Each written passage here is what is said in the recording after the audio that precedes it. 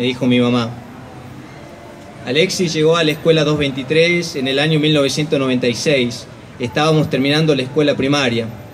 Cuando entré en el aula le comenté a mi compañero de banco que no se adaptaría bien al grupo por ser un extranjero. Sin embargo, su respuesta me sorprendió. Él vive en el barrio, poco lo conocen, no sale a jugar mucho.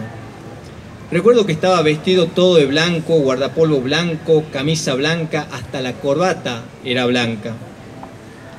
La maestra lo presentó, creo que la señorita también vivía en el barrio de manera, digamos, correcta.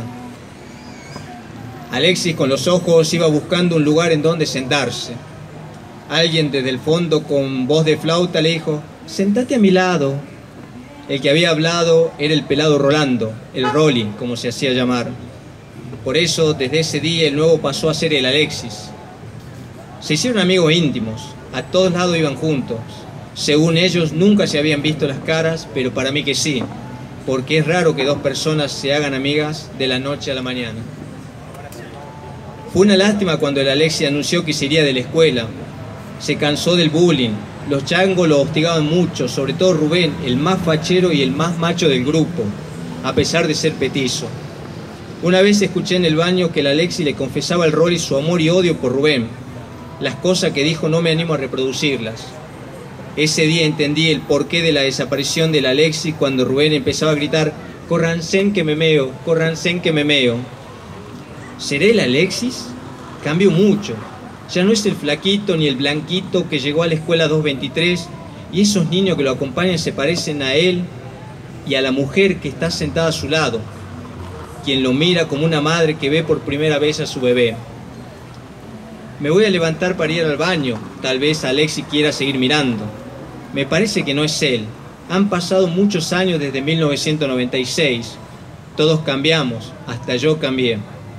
Seguramente no es él, porque no me reconoció o porque quizá me odia por la broma que le hicimos cuando fuimos a debutar con las veteranas de Azopardo. Qué humillante fue para él cuando la vieja lo agarró del cuello y le dijo, a este blanquito me lo como yo.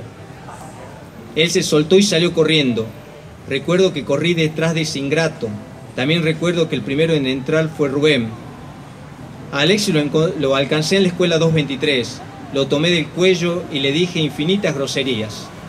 Él lloraba desconsoladamente, con la cabeza mirando el suelo. Me dio lástima y lo solté. Desde aquella vez nunca más lo volví a ver. Regresé al prostíbulo, le pongamos ese nombre. Rubén salió contento, como si le hubiera visto la cara a Dios. No vio a la Alexi y preguntó, ¿dónde se metió la marica? Nadie respondió. El dueño del local gritó, que pase el siguiente. El segundo en pasar fue Paul. Yo quedé para el último. Dicen que los mejores siempre van al último, cuidando la manada de lobos salvajes. Los changos de la escuela 223 éramos lobos que comíamos corderos, como el cordero que se estaba comiendo en este momento el supuesto Alexis.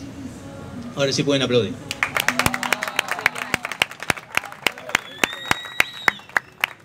Al igual que Juan Carlos, nosotros tenemos eh, en este pequeño librito que cuesta solamente 300 pesos, así que lo pueden comprar si les gusta. También una crítica a la iglesia, una burla a la iglesia. Eh, hay un episodio de violación también del padre hacia una hija y una burla a los críticos literarios.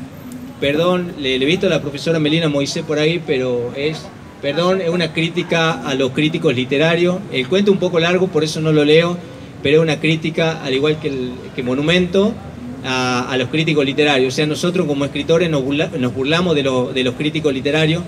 Bueno, también un poco nos burlamos nosotros porque somos, eh, como profesores de literatura, críticos literarios. Eh, lo último que quiero decir es que estamos corrigiendo una novela sobre un personaje amado y odiado en Jujuy, yo propuse el siguiente título, La Eva Negra. Así que el año que viene o el próximo, como, como decía hace un momento, nosotros trabajamos de manera lenta, pero, pero sacamos, publicamos muy buenas cosas. Eh, este libro va a generar mucha polémica porque es un personaje que vive en Jujuy, un personaje de la política y que, como decía hace un momento, es un personaje amado y odiado, no solamente en Jujuy, sino también en toda la Argentina. Muchas gracias por escuchar.